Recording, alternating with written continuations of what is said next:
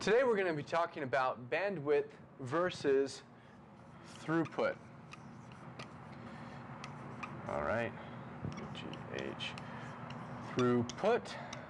And I'm pretty sure we all know what bandwidth is, right?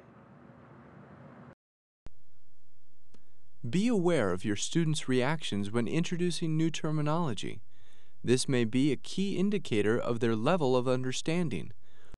It helps to introduce ideas in a unique way to help the students understand the concept. Remember that students may be totally unfamiliar with the topic at hand. Bandwidth refers to how fast a device can send data over a single cable.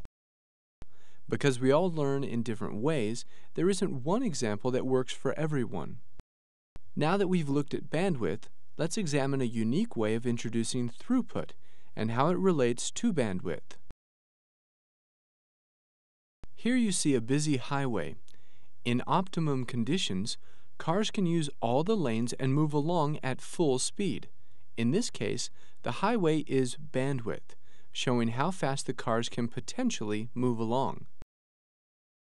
In this example, you see fewer cars on the highway.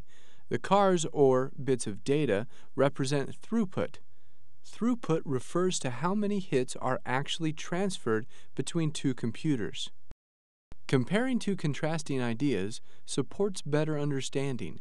Ask students to compare and contrast throughput versus bandwidth and see what they come up with.